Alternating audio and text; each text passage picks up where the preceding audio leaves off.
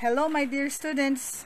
So, uh, bago tayo magsimula sa ating drawing activity, meron muna tayong mga dapat gawin na paghahanda. Ano, una sa lahat, kailangan nating linisin ang ating mga drawing instruments and tools. Okay? So, ang ginagawa ko ngayon, ini-sprayan ko ng alcohol ng ating mga drawing tools or instruments.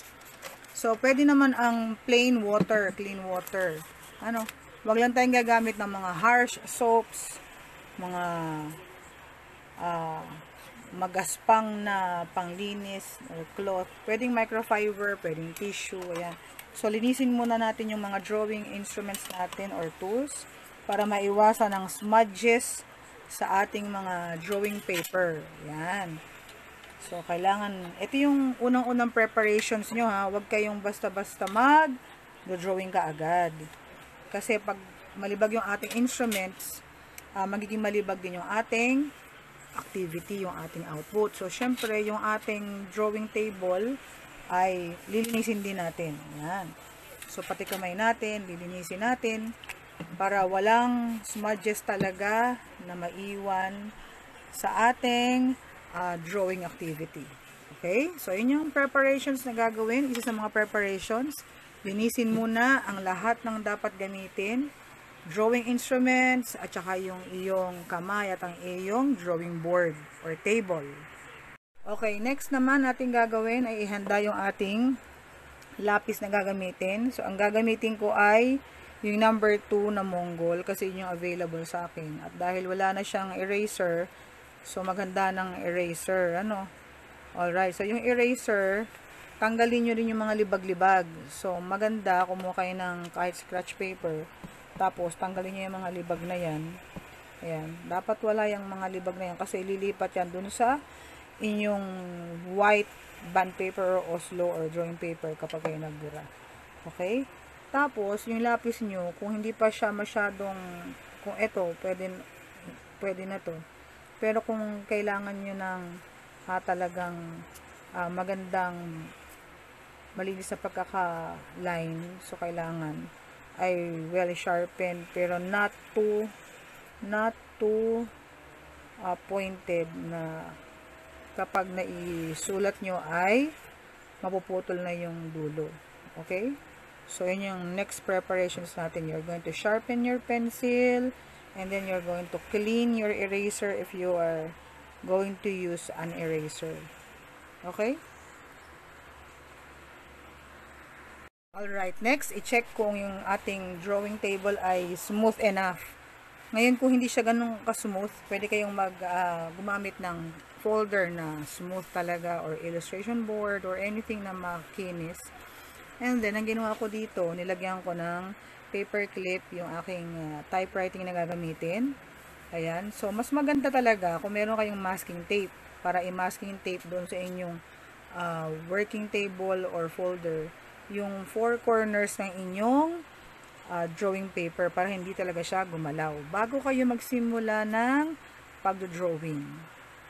Right, next, so mag-mark tayo ng 1 inch sa all sides ng ating typewriting. So, dapat yung edge ng ating typewriting nakatapat sa 0 sa ruler papuntang 1. Ayan. And then, pag nagawa na natin yon i-connect natin ng very thin lines. And then, we're going to make our border line. So, yung border line, ang pinakamakapal na line sa ating drawing paper. Yan. Bago tayo magsimula. Alright. And then, you can use a T-square as your guide in drawing your isometric box. And then, if wala niyan, pwede naman syempre ang ruler at pwede kang gumamit ng 30 by 6 na triangle which will be your guide in drawing your isometric box. Hello, my dear students! This time, I'm going to teach you how to draw an isometric box. Okay, step number one, we're going to draw a vertical axis. Alright, so ilagay natin yung ating uh, T-square, kung gagamit kayo ng T-square dyan sa edge nung folder, yung pinaka-head niya, para maging guide nyo. Ayan, so kailangan yung linya nung borderline ay nakapantay dun sa ating T-square. And then, get your triangle i-ready Alright, so tingnan muna natin yung sukat na gagamitin natin. sa sukat natin, so yung, yung ating uh, width na nasa bandang left ay mas malaki kaysa sa depth na nasa sa bandang kaliwa. So, yung ating triangle ay ilalagay natin sa bandang kanan. Yan. Pero kung yung ating sukat ay the same, sa so width and depth, ilalagay natin sa gitna. Okay? So, gagawa na tayo ngayon ng very light na vertical axis. Very light lang. Okay. Okay, so after nating magawa yung ating vertical axis, second step is draw the left and right axis. Alright. So, gagawin nating basis uli yung ating uh, ruler. Ikamado natin yung ating triangle mula sa vertex papuntang left. Very light line. Yan ang ating left axis. I-turn natin ang triangle. Ayan. Itapat natin sa vertex uli. Ayan. And then, mula dyan, papunta sa left axis. Very light line lang. Yan. Okay, so yan yung ating step number 2. Step number 3, determine the width and length or the depth of the box and then draw vertical lines. Okay, so our width, okay, that is our left axis is 3 inches. So, mula vertex papunta doon sa left ay 3 inches. And then, our length or depth So, right axis tayo is 2 inches. So, mula vertex hanggang doon sa ating desired length ay 2 inches. Then, draw vertical, vertical lines. So, gamit yung ating ruler as basis. Get uh, your triangle para makapagawa tayo ng vertical lines. Alright, vertical line. Very light line lang. Next, on the right axis, or sa ating length or depth, vertical line uli. Very light line lang. Very light line. Okay. Yan. So, meron tayong vertical lines sa length at saka sa width. Alright, step number 4, draw a left and right axis to determine the height of the box. Okay, from the vertex, kuha tayo ng 2 inches. Ayan, and then, use your guide. Alright, and then triangle. Yung nakakuha natin 2 inches to the right axis. Ayan, sige, very light line lang.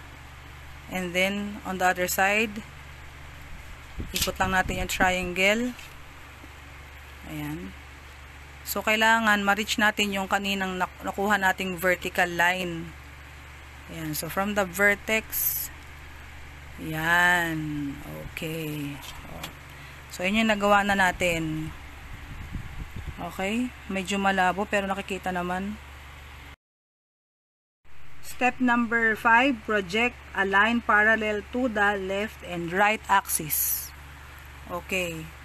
So, mula dun sa nakuha nating height na 2 inches,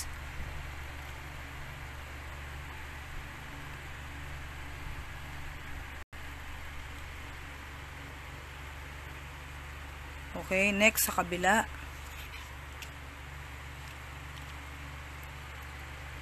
Ayan, parallel. Ayan. So, ayan. So, ibig sabihin ng parallel, yung uh, ito parallel dun. Tapos ito parallel dun. And then iyon parallel dun. Okay? So yan na yung ating isometric box. Malapit na tayong matapos. Okay next step bago tayo mag label linawan muna natin yung ating isometric box using visible line. So yung visible line natin ay mas manipis ng konti doon sa ating borderline Ayan, so ipapakita na natin yung ating uh, isometric box using visible line. Ayan. So, linawan natin using visible lines yung ating isometric box.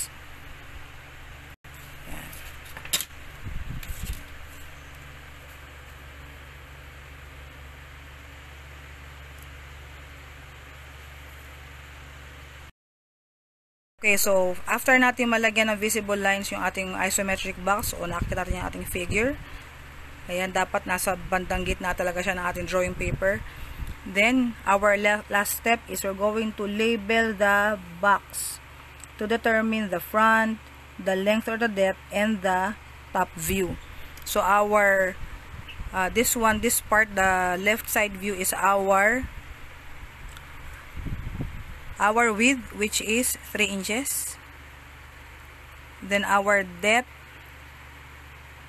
or length sa ating right side ay 2 inches and then yung ating height